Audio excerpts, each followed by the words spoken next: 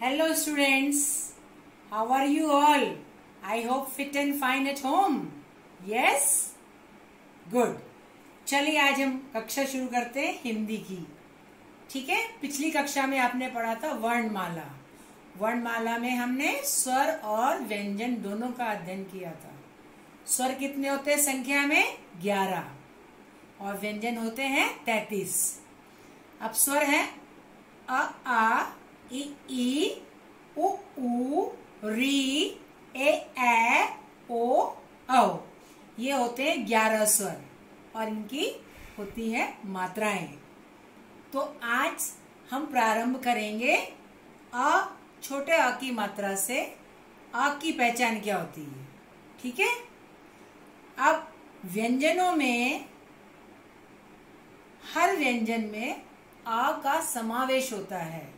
हर व्यंजन में आ की ध्वनि आती है। ठीक है? जैसे, देखो, बिना ध्वनि वाले क ऐसे होते हैं। इनके नीचे लगा होता है हलन। क, ख, ग और घ। ये अपूर्ण है, ये अधूरे हैं, क्योंकि इसमें नीचे हलंत लगा हुआ है। इसमें अभी अ की मात्रा का समावेश नहीं है, इसलिए सबके नीचे हलंत लगा हुआ है। इसी प्रकार, इधर भी देखो, च, छ, ज झ य, सबके नीचे क्या है? हलन। ये भी अधूरे हैं, क्योंकि इसमें अभी अ की मात्रा का समावेश नहीं है। ठीक है? जब अ की मात्रा का समावेश होता है तो वो कैसे बन जाता है? ऐसे। क, जमा, अ, क। अब क के अंत में आपको आ की ध्वनि सुनाई देती है, क। ठीक है? क जमा अ क। इसी प्रकार, दूसरा है ख। अभी ख के नीचे हलंत लगा है। जमा आ होके क्या बन गया? ख क्या बन गया? ख। ख में भी आ की ध्वनि आ रही है। एक और उदाहरण लेते हैं। घ जमा अ। घ घ ठीक है? अब इसी प्रकार से हम शब्द भी बनाते हैं। ठीक है? अब देखो। घ, जम अ, जम र, जम अ। कौन सा शब्द बना? घर। ठीक है? एक और शब्द लेंगे। फ, जम अ, जम ल, जम अ। कौन सा शब्द बना हमारा? फल। कौन सा शब्द बना हमारा? फल। ठीक है? अब एक छोटी सी गतिविधि आपके साथ खेलते हैं और आप जब ध्यान से पढ़िएगा, इसमें क्या लिखा है?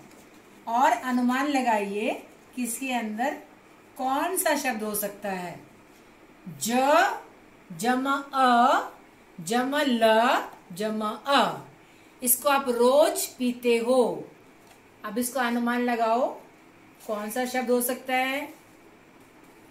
कौन सा शब्द हो सकता है? सोचें सोचें। आपका आंसर यही है, आपका उत्तर यही है, जल। कौन सा शब्द है? जल। ठीक है?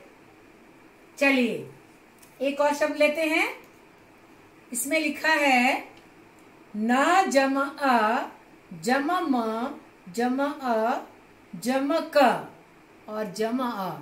ये तीन वर्ण वाला शब्द है।